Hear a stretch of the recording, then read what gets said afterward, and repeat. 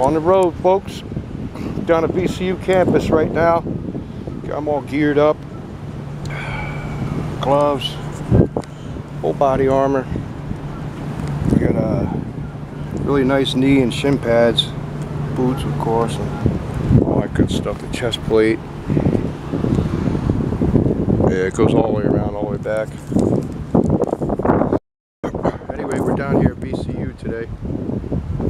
Out on campus, just chilling a little bit. And combing alleys. A lot of crazy people walking around down here, as you can see.